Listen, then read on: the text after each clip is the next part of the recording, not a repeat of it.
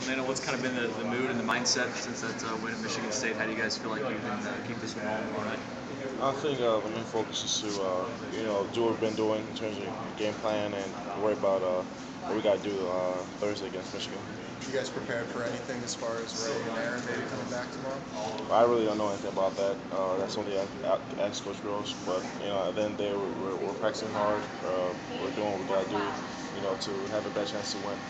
What do you guys take from that last matchup against Michigan that you can use and, and maybe exploit to your advantage uh, this time around? Well, we, we understand that you know, uh, you know, we made a lot of mistakes in that game, and I think the goal in this game is to limit those mistakes. You know who uh, Aubrey Dawkins is this time around? He was sort of an unknown guy, wasn't he? Yeah, I mean, he really had a big time game all the other time, and I think uh, we definitely, you know, we have a lot of focus on him. Uh, he's obviously talented. He's really improved this game, not from that game, but since, uh, you know, some of the top players went out. Talks a lot about handling success, and you guys have got a little bit here, here of late. What, what's been your role in making sure the guys stay focused and kind of uh, looking ahead? I think the main thing is to understand, you know, the, the goal is the team that we set forth, and you know, it's not, you know, one game that's going to do that, but you know, a collection of games. So I think at the end of the day, as long as we have the same focus and mindset to what we want to do at the end uh, of the year, um, we, we're going to stay motivated. Is that something you guys have ever struggled with at, at any point this season?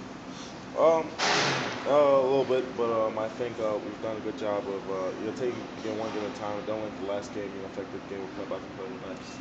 For while you didn't have Aaron in practice, what's, what's it been like to be able to practice with them, and how did that pay off on the court whenever they do come back? No, I mean they, they provide you know great effort, great leadership skills. Um, you know they do what they kind of do to help us improve, and, and we appreciate that. Who gave you those stitches? Uh, Who gave you those stitches? uh, you know, uh, you could have guessed what you guessed. yeah, absolutely. Man, a third year in a row, you third year in a row, you guys really are playing. It's just night and day in February compared to what it was in January. Every coach says they want their team to finish strong. How do you guys happen to do it every year? I mean, that's what Coach Bush preaches. That's what he does. You know, you, we um, he always talks about finishing everything we do. You know, and never giving up. And I think that's the mindset we all have as a team.